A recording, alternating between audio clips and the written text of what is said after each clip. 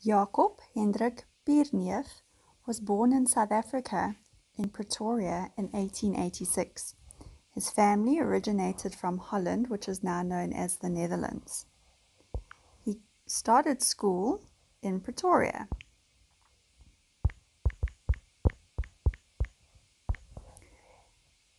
And he was a young art student at the Staatsmodel School.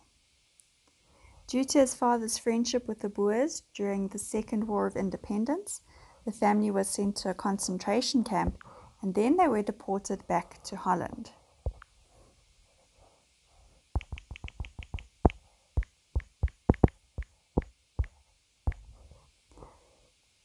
While in Holland, he studied hard and he learned from the old masters. And there is Holland. After the war, he and his family returned back to South Africa. Frans Oerder taught him oil painting, and eventually two of his etchings sold. He experimented with many art forms.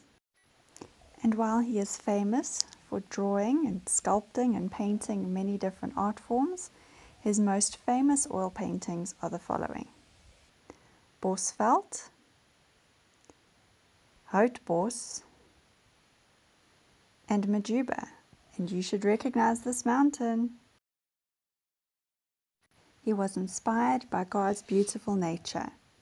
Now, Great fours, let's see what you can do.